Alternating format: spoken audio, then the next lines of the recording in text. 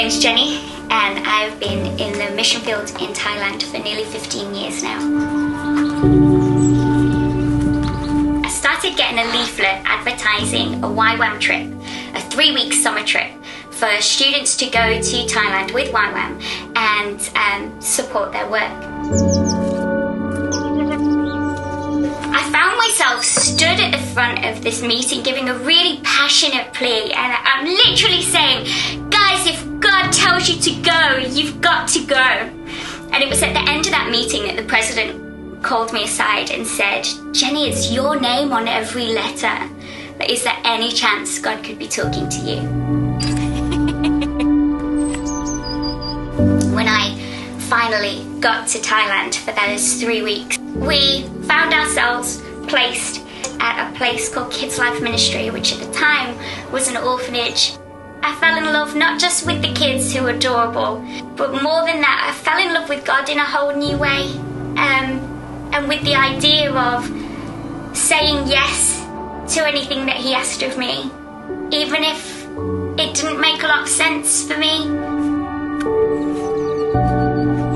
After this first trip to Thailand, I went back to the UK.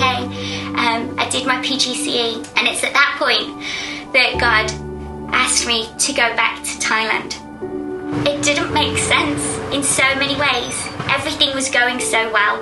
I was living out my dreams. I had a successful career. I had a lovely home.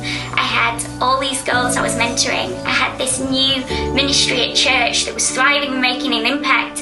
I remember when it got to the point where I knew I was going and I was being told so many times that it didn't make sense to to go without sponsorship, which I didn't have. But again, I was sure that God was speaking. And so I went.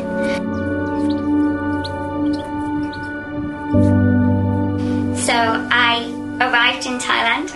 I really enjoyed um, just sharing life with these kids who had come from just such a different background than myself. Um, some of them were orphaned, but not all of them. More of them were abandoned.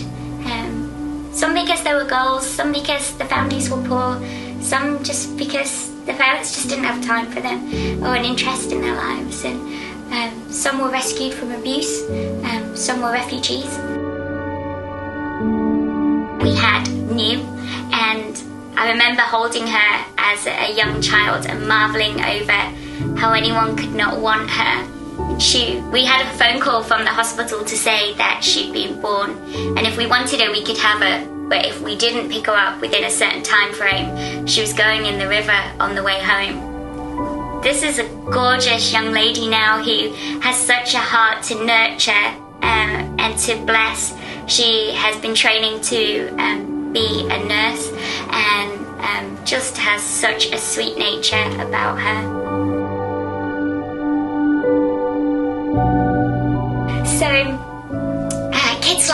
And it changed, and I had so many kids there. It was it's exciting. Uh, at the biggest, we had 86 kids at one time on site.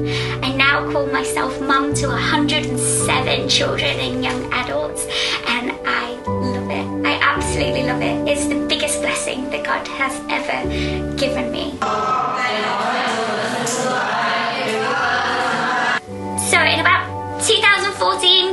Having um, some really big trials over at KLM. We lost 90% of our funding overnight. We had um, a lot of opposition to try and stop this ministry and, and to leave and to, to shut down. And, and it was scary. It was really scary.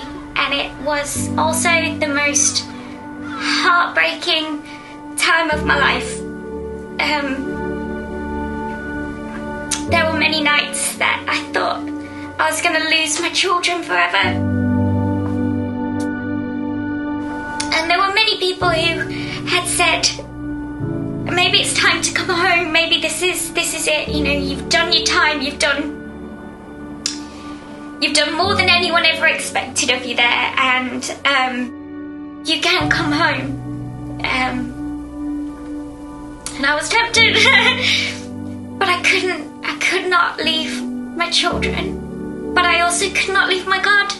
He'd never left me, and he did not speak to me about coming home. Instead, he spoke to me about standing firm, pushing on, and that I was not to leave, but I was to step up into more responsibility.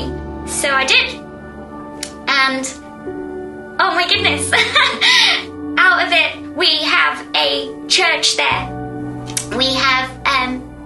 Outreach going into um, local hill tribes and villages and setting up little community groups there and taking aid out to them and teaching in schools. We have this amazing scholarship program where we're now not just working with the children but working with the whole family. Kids Life has exploded into something so much bigger than it was, where the children have become missional and are out there in their schools, in their villages, sharing the gospel. All these steps of faith, of obedience, of listening to Him and not to anyone else took me to the place where I became fully myself, where all of my creation was suddenly aligned with God's intention for me, and I actually got to live in the fullness of that. And it's just something really beautiful and really moving, and I will always treasure and be grateful that He invited me to find that and to live in that fullness.